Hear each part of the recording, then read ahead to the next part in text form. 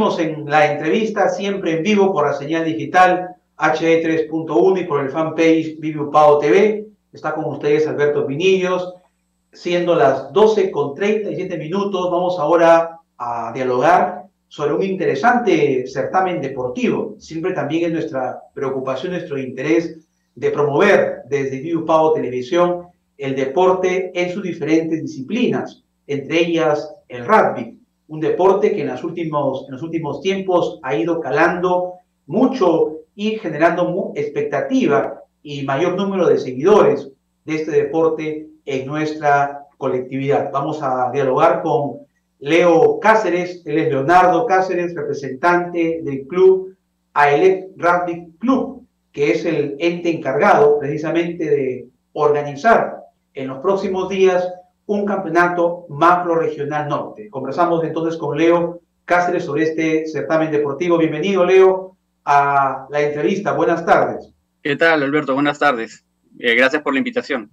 Bien, coméntanos, hemos sido testigos que en estos tiempos del confinamiento, de la pandemia, se han dado tiempo los, los clubes que practican este deporte a seguir entrenándose y hoy nos vas a anunciar esta competencia macro regional. Cuéntanos, Leo, en qué consiste y, cómo está trabajando el rugby en este afán de masificar este deporte.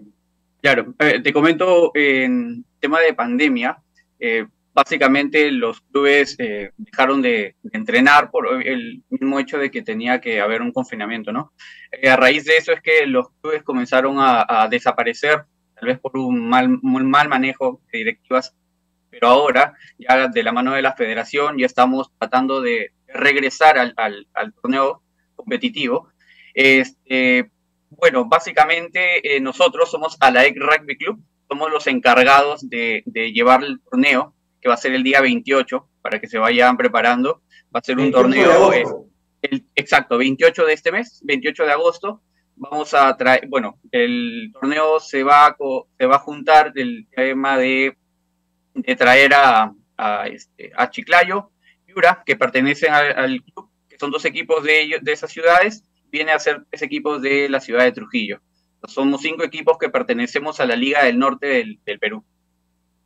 Bien, ahora nos decías de que hay una federación que está bastante organizada. Cuéntanos cómo es el trabajo que realiza la federación y qué apoyo reciben ustedes los clubes de Trujillo y el norte de parte de la federación. Claro, eh, bueno, en realidad la, la, federación lo que nos otorga son capacitaciones capacitaciones no solamente como deportistas para las reglas del deporte, sino también como dirigentes, en mi caso, o eh, arbitraje. Entonces, las capacitaciones que ellos nos dan son de manera gratuita, solamente tenemos que llegar a la ciudad, que puede ser aquí en Trujillo, puede ser en Chiclayo o hasta en Piura. No, eh, luego de eso, el apoyo que ellos nos dan es en las redes sociales, para cuando hacemos una especie de flyer, para el torneo poder invitar a través de la, de la página de la federación y nos puedan este, apoyar con masificar. Es lo que estamos buscando, ¿no? Bien, ahora de tu experiencia, Leo, eh, ¿cómo ha ido mejorando el nivel competitivo del rugby? Eh, tenemos equipos como para... Hay una selección nacional también de rugby porque eso se practica a nivel internacional. Claro. Sí, eh, a decir verdad, eh, a, raíz, de la pandemia, como fueron desapareciendo muchos, muchos jugadores que tenían este tiempo y disposición para jugar, a partir de la pandemia se fueron yendo, fueron migrando. También el tema de la edad. Eh, lo que estamos tratando de hacer ahora es, es conseguir nuevos, nueva camada, nuevos jóvenes que quieran aprender el deporte y enseñarles de una manera, pues, de un rugby este, amateur básico, para que puedan ir escalando y pues llegar al, competitivo. Tenemos eh, selección, sí, tenemos selección, es más, eh, la selección en, Lima ya se está, se está preparando para torneos y las mujeres también eh, regresaron de, de, Brasil, que fue un, un sudamericano de rugby. ¿Qué se necesita? ¿Cuál debe ser el perfil para poder incursionar en este deporte del rugby? De repente muchos chicos nos están siguiendo por las redes sociales o por la señal digital y como que no se deciden a entrenar o a incursionar en el deporte, tanto hombres como mujeres, porque este deporte es para ambos, para uno u otro sexo. ¿Qué condiciones debe tener un deportista para entrenar rugby, Leo? Eh, las condiciones en realidad son las ganas de querer aprender. Eh, no, no, a diferencia de otros deportes, el rugby viene a ser un deporte muy incluyente.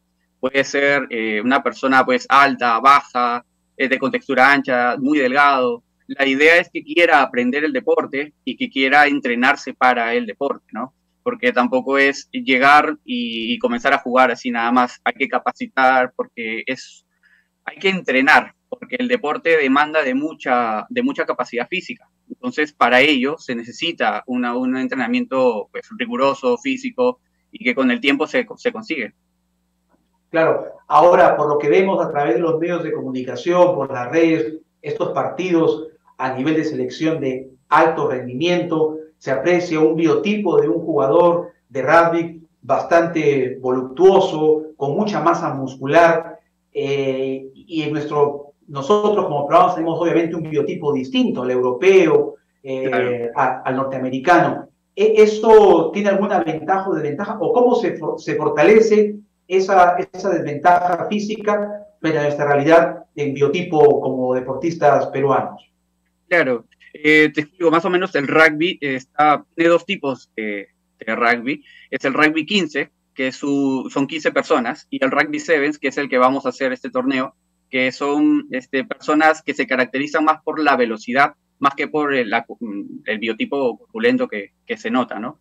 El, el, biotipo de la persona de rugby tiene que ser, este, bueno, puede ser este, muy veloz, de zancada alta, poder tener una buena técnica de, de, de, velocidad de corrida, porque eh, lo que se trata del rugby 7 no es tanto del impacto, del golpe, sino de la evasión del golpe como cualquier otro deporte, tiene que haber una, puntuación, se debe llevar a través de una puntuación. No es por la cantidad de golpes que recibes, sino por los puntos que generas en un partido y ganando metros. Entonces, para ello necesitas poder evadir al rival y poder llegar de una zona, de tu campo al campo rival.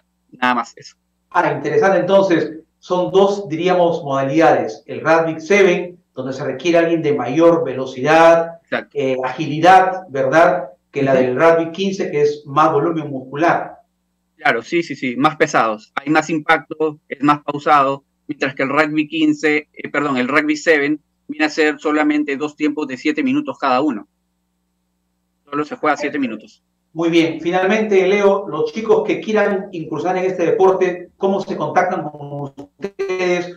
¿Cómo se inician en esta práctica del rugby amateur? Eh, nos pueden encontrar en Instagram como Alike Rugby Club. Nuestras redes están, eh, bueno, publicando casi todos los días algo, algún contenido. Nuestros entrenamientos son de, de 8 de la noche a 9 de la noche, una hora, y los sábados de 3 de la tarde a 5 de la tarde.